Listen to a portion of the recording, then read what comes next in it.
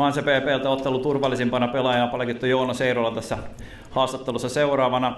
Joonas, tosiaan 41 tehtyä juoksua kahteen ensimmäiseen otteluun tällä, tällä viikolla ja nyt sitten Hamina, Hamina kotikentällä. Vähän sateinen keli, vähän nihkeetä.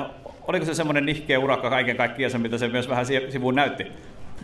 No se oli kyllä nimenomaan sitä, sitä oli nihkeä kyllä. Että, et, et, en tiedä mikä siinä ulkopeli, ulkopeli nyt taas mahdollistaa hyvinkin. Kaveri sai 6-3 tilannetta, että eihän siinä niin ole, ole mitään ja hyvin on siellä pelattu, mutta tuota, tänne ei vaan lähtenyt sisällä. Jostain syystä ei tullut periaatteessa onnistumisia ja periaatteessa tota, jos 15 kolmostilannetta, niin kyllä se nyt jollain tavalla pyörii, mutta, mutta ei sitten saatu kotia. Että tänään oli nihkeä peli. Niin ja lopputulos on tietysti se, että oli 11 peräkkäinen voitto ja ei tässä nyt auta olla maansa myynyt sen suhteen, että ei tullut rallatteluvoittoa, että tässä on tietysti totuttu tällä viikolla kaiken näköisiä ja se on tärkeintä, että joukkueen voittaja menee sitten eteenpäin seuraaviin peleihin.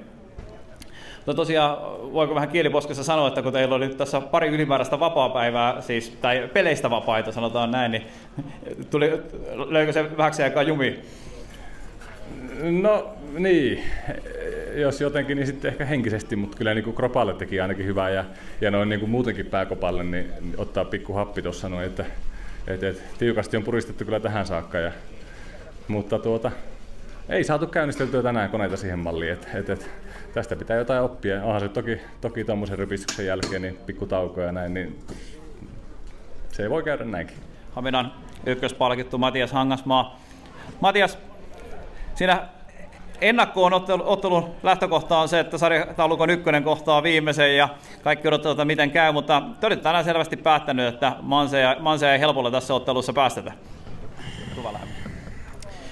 Joo, siis tässä on jokunen peli vielä runkosarjaa jäljellä, niin meidän tietysti ensisijainen tavoite on, että pistetään peli nyt kuntoon. Ja, ja kyllä me tänne tultiin, me tiedettiin, että on vastassa on kyllä tosi laadukas joukkue, että se vaatii meiltä hyvän peli, jos me halutaan haastaa, mutta totta kai me lähdettiin tai joka ikistä jaksoa lähdetään aina voittamaan ja pienestä se oli nyt tänään kiinni, mutta ihan, ihan ei riittänyt, mutta jos kaverille tai näin hyvälle joukkueelle jotain antaa ilmaiseksi, niin se tekee aina pikkusen vaikeammaksi sen jakson voittamisen sillä.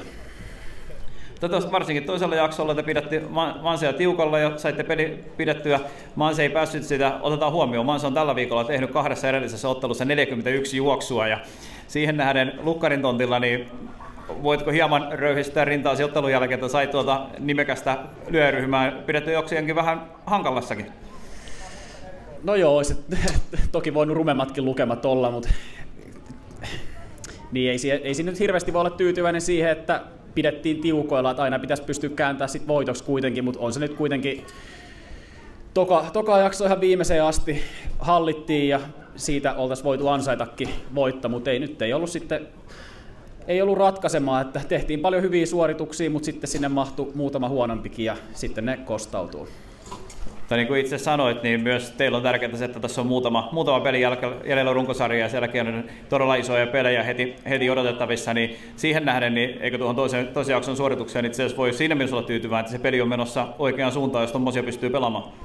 Joo, siis totta kai, että jos me siellä karsinossa tuskin tulee Jussilaa, Puhtimäkeä ja tämmöisiä vastaan, niin pitää silleen toki olla tyytyväinen, että näin laadukasta porukkaa pystytään näin tiukoilla pitämään. Että se kertoo tietysti jostain, että, että peli menee parempaan suuntaan, mutta vielä pitää karsia yksittäisiä huonoja ulkovuoroja, huonoja sisävuoroja pois, niin, mutta on tässä vielä pari viikkoa onneksi aikaa, niin koko ajan kehitetään peliä. Taisto Manse PP ja Haminan välillä on tauonnut. Manse PP voitto 1-0 ja 11 peräkkäistä voittoa kuin sarjataulukossa tällä hetkellä. Miltä se Matti Ivarinen pelin jälkeen tuntuu?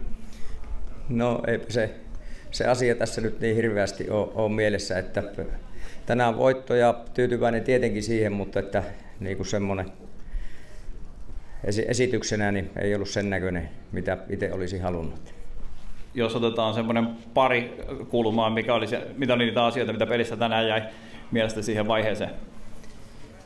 No aika paljon ja, ja tota, niin en, en, osaa tässä, tässä niitä nostaa, että vähän on semmoinen olo, että pitää rahassa mietiskellä vähän aikaa ja, ja tota, niin joukkueenkin kanssa vähän rupatella, että, että mitä, mitä juttuja siinä niin kuin on semmoisia ja oli semmoisia, mitä melkein voisin sanoa, että eri lailla pitää tehdä ja, ja tota, niin, sillä lailla, että meillä on tiistaina sitten mennään Haminaan ja, ja siellä, siellä täytyy olla sitten ihan erinäköistä touhua, jos mieli siellä voittaa.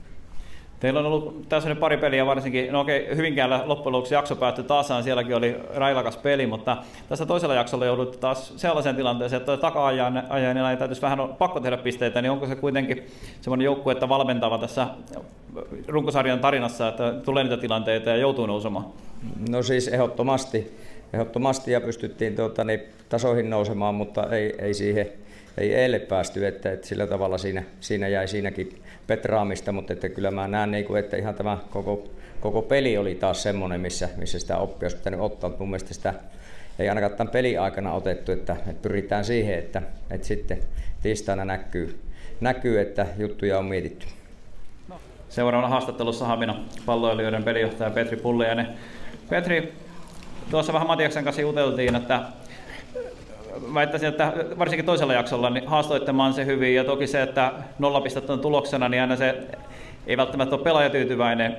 Mutta miten sanoisit, että oliko sen näköistä peliä toisella jaksolla esimerkiksi teiltä, kun lähdit, haluaisit sen olevan teidän porukassa?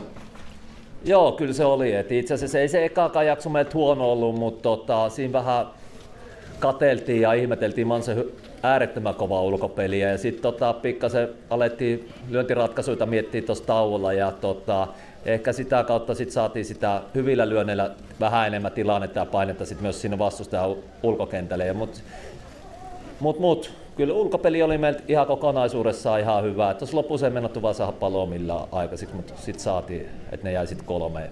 Et tota, ihan jees suoritus meiltä, mutta harmittavaa, kun ei sitten saanut, saatu palkintoa, että pistettä tai kahta tästä näin. No sinä hyppäsit matkaan tuossa kesken kauden ja sitten teillä iski tuo itse asiassa koronakaranteenikin siellä siinä vielä.